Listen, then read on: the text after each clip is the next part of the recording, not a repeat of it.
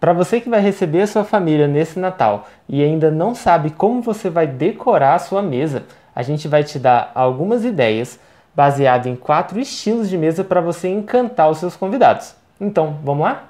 Antes da gente começar, já deixa seu like aqui nesse vídeo, porque esse conteúdo que a gente trouxe para vocês é bem original, bem único. Então, já deixa seu like. Começando pela mesa clássica.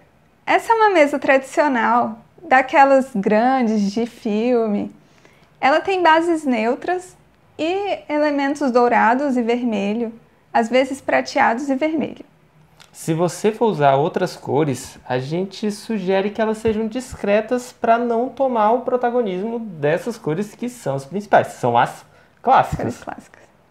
A mesa clássica é o tipo de mesa ideal para você usar aqueles seus jogos de jantar, jogos de cristal, que passaram o ano todo guardados esperando por uma ocasião especial. É a hora de você fazer valer o espaço que você usa com aquela cristaleira, com aquela dispensa cheia de coisa. Soloceiro, né? Na mesa clássica, arranjos de folhas e flores são muito bem-vindos e velas são itens obrigatórios. A mesa rústica é a mesa que mais tem elementos naturais na sua composição, como folhagens, gravetos, folhas, flores, frutas. frutas e nela a gente também pode abusar de texturas naturais, como aquelas texturas de flores, frutas e as estampas xadrez. Além disso, você também pode usar muitos elementos bordados que combinam bem com aquele climinha de montanha. E aqui uma dica como na mesa clássica. Se você for usar outras cores, é muito importante que elas sejam congruentes, que elas combinem com as outras cores naturais para que nenhuma delas se destaque. Ou seja, evite usar um verde limão no meio da sua mesa.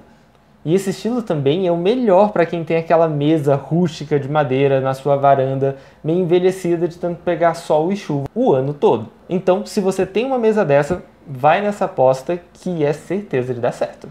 Como esse é um estilo que usa muitos itens naturais, ele também é interessante para quem vai fazer o jantar ao ar livre, em contato com o jardim. Principalmente porque nele você vai usar muitas coisas que estão no seu próprio jardim, como pinhas, uh, gravetos, restinhos de poda. Cuidado Fica com muito... bichinhos. Fica muito natural e autêntico. E é uma decoração que ninguém mais vai ter. Isso é interessante para qualquer tipo de mesa que você tiver no seu jardim, e não apenas a madeira. Seguimos com a mesa divertida. Essa é uma mesa mais informal, despojada, e você tem dois caminhos que você pode seguir para chegar a esse resultado de mesa divertida. O primeiro é começando com uma base colorida e acrescentar itens neutros. Ou você pode começar com uma base neutra e acrescentar itens coloridos. Você tem que tomar cuidado para não deixar a decoração muito carregada e é claro que também você não pode deixar ela sem graça. E para alcançar esse equilíbrio que a Vanessa falou, a gente sugere usar três, quatro cores, não muito mais do que isso. E não menos também, para você não deixar a sua decoração sem graça, já que o intuito é ser uma decoração divertida. Ou ficar bagunçado demais se você usar demais. E esse tipo de decoração é ideal para aquela pessoa que não tem muita coesão entre as suas decorações, entre os, os pratos, entre os copos, talheres. Às vezes ela tem vários pratos de conjuntos diferentes que foram se quebrando e aí agora ela tem seis tipos de pratos diferentes. Isso é muito legal para esse estilo. O mesmo vale para copos, taças, Tipos suplás, guardanapos. estampas diferentes, texturas de taças, entre taças e copos. Né? Essa mistura é que vai deixar ela divertida. As estampas são muito bem-vindas, é claro, para a sua mesa divertida. Só lembre que as estampas também têm as suas cores. Então, use cores que combinem com as cores que você já está usando ou que sejam do mesmo tom. As estampas contam naquelas três ou quatro cores. Nessa decoração aparecem itens inusitados, fofos ou até mesmo infantis. E por último, a mesa de Natal minimalista. Essa mesa puxa toda a essência dessa data especial, dispensando elementos muito chamativos ou detalhes demais.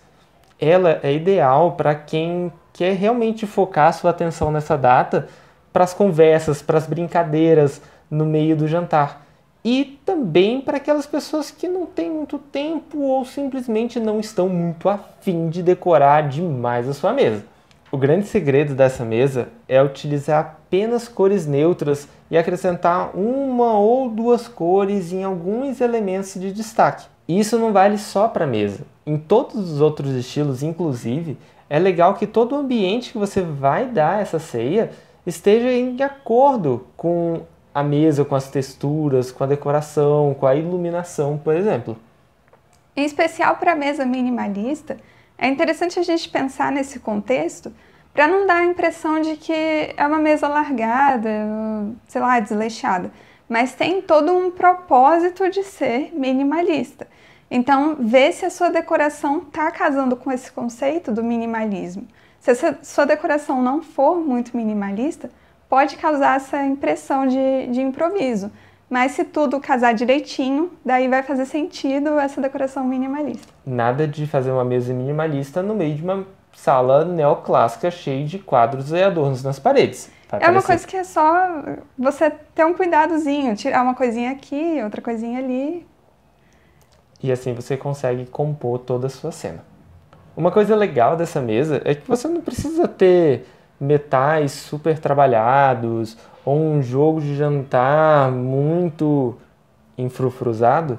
Você pode usar coisas de vidro, muito vidro e talheres de cores claras, os clássicos cromados, 100% cromados. Não precisa de muita coisa além disso. Agora que você já tem algumas ideias de decoração para sua mesa de Natal, imagino que talvez você queira saber alguns princípios básicos da mesa posta, como organizar os itens ali. E pensando nisso, a gente vai deixar um trechinho de um vídeo antigo aqui no nosso canal, onde a gente explica um pouquinho sobre isso, para você não precisar sair desse vídeo para pesquisar sobre mesa posta. E se você gostou desse vídeo, com dicas pequenas e simples, compartilha ele com quem vai receber você nesse Natal, por exemplo. Quem Alguma sabe... pessoa que está perdida com esse assunto. Quem sabe a gente consegue ajudar ela a te impressionar. Então, fica com o próximo trechinho e até a próxima. Agora que você já sabe alguns princípios básicos, talvez você já tenha até escolhido a sua mesa preferida, a gente vai passar para alguns elementos de composição da mesa. Antes da gente prosseguir para os itens, a gente tem uma dica. Procure usar o mesmo material para cada grupo de itens. Se você vai utilizar pratos de vidro, use apenas vidro. Se vai utilizar bandejas de metal, use apenas metal. E assim por diante. Vamos começar pelas toalhas. Usar toalhas na mesa é opcional, mas ela tem uma grande vantagem. Ela acaba protegendo os móveis mais sensíveis de pequenos acidentes com os comes e bebes durante a ceia de Natal, como uma taça que vira. Além disso, as toalhas podem trazer charme e aconchego para sua mesa. As cores e os padrões da toalha variam de acordo com o estilo que você quer utilizar. Ao optar por uma mesa rústica, você pode usar toalhas mais discretas para destacar a madeira. De toda forma, considere uma distância mínima de 60 centímetros entre os pratos, para que seus convidados fiquem confortáveis durante a refeição. Depois de definir as toalhas, os próximos itens são os pratos e suplás. O suplá, para quem não sabe, é a base dos pratos. Por isso, deve ser mantido durante toda a ceia. Ele serve para proteger a mesa do calor dos pratos, além de deixar a mesa mais preenchida e elegante. Uma boa opção para esses itens mais caros é o aluguel dessas peças, que vai te permitir escolher diferentes peças para outras ocasiões. Agora a gente vai falar sobre os talheres. A organização dos talheres é feita da seguinte forma: facas e colheres de sopa ficam à direita, garfos ficam à esquerda e talheres de sobremesa ficam acima do prato. A ordem dos talheres segue a ordem de uso, de fora para dentro. E as lâminas devem estar voltadas para o prato. Mas é claro, você pode e provavelmente deve fazer as adaptações que você precisar de acordo com o que você vai servir na sua ceia. E sobre as taças? As taças devem ficar à direita, na seguinte ordem: a taça mais próxima do prato é a da água, depois vem a taça de vinho tinto e depois a de vinho branco. O ideal é que também fiquem em ordem de tamanho, você também pode utilizar copos respeitando essas regras de organização e com uma estética parecida com a das taças. E o último item individual da sua mesa é o guardanapo. Ele deve ficar à esquerda ou em cima do prato. Caso você não tenha guardanapos de pano, pode alugar junto com o suplá. Mas como a ceia de Natal normalmente é uma comemoração muito familiar, não tem problema algum em você utilizar guardanapos de papel mesmo. Tem inclusive alguns que são muito bonitinhos. Bom, depois dos itens individuais, a gente vai falar um pouquinho sobre os itens gerais da mesa. Toda a extensão da sua mesa de Natal deve conter enfeites, deixando a distribuição mais harmônica. Você pode rechear tigelas de cristal com bolas natalinas, utilizar folhagens e frutas nas bandejas ou festões por toda a mesa. Essa é a hora de deixar a sua criatividade fluir, lembrando do estilo que a gente ajudou você a escolher lá no início do vídeo. Bom, então por esse vídeo rápido é isso. A gente espera que vocês tenham aprendido coisas novas, assim como a gente aprendeu e sempre aprende fazendo esses vídeos para vocês.